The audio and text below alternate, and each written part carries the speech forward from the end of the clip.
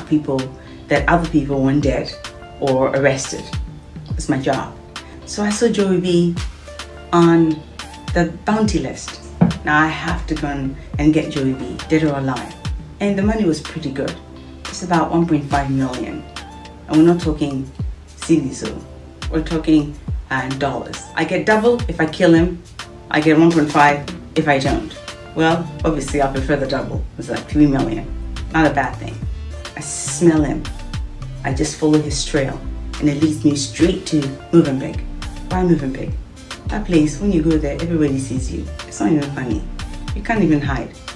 So this receptionist looks at me and says, Oh, um, are you the stripper? Of course I look like a stripper. Tells me the room number. And I go up. And a whole bunch of girls open the door. And Sally Gali was also in the corner. She's married. She shouldn't have been there, but she was there. See Joey B sitting in the corner of this very big suite. And the thing that was popping out from that trousers was not easy.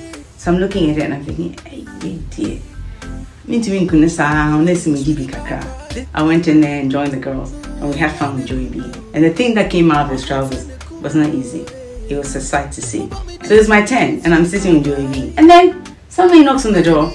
They open the door. Somebody opened it. I don't even know who the hell opened the door. I, I think it was Yaya.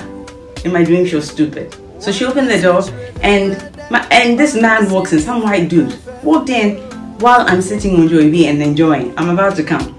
This guy walked in, I looked at his face, ah, you look like my husband. But in my dream, he wasn't. They looked like my husband. And then killed Joey B right underneath me while I'm about to come, when he's about to come. Wow, Jim. I was pissed. I was pissed off. So I woke myself up and I slapped my husband. I beat him in the bed. I beat him. I was angry. Ah! Why? Why you come and spoil my dream like that? Eh? You're always in my bed every night. Why?